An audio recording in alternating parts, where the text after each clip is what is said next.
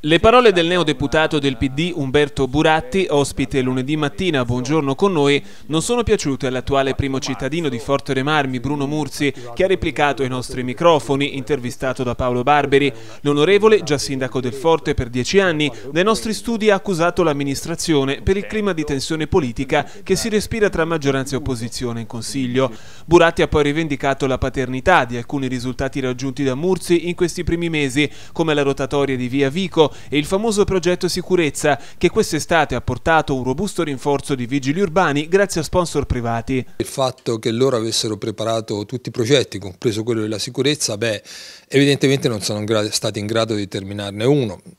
per parlare il pontile, la BC Motors, la biblioteca per la quale se fosse stato per loro sarebbe, saremmo sempre all'interno di una causa milionaria, non sono stati in grado di rimettere a posto la viabilità, non hanno fatto un parcheggio in dieci anni, comunque è evidente che non sono riusciti ad occuparsi dei problemi importanti. Eh, la parte eh, propositiva è stata di Buratti, ma chi ha fatto il progetto sicurezza primo comune in Italia è stato Forte dei Marmi con la mia amministrazione. Abbiamo cercato i fondi, abbiamo convinto la gente, abbiamo organizzato, abbiamo fatto un mega concorso per prendere i vigili urbani. Ora non è che tutto questo fosse scritto nelle due righe che Buratti aveva passato al ministro Menniti. Uno scontro a distanza fra il sindaco e l'onorevole di Forte dei Marmi che non alleggerisce il clima in vista dell'incontro formale tra i due, già fissato e poi saltato passato e ancora da riconfermare. Lo schema mio è quello di una professione in cui le decisioni vanno prese in 30 secondi, lo schema di Umberto è molto più riflessivo essendo lui un uomo di conti.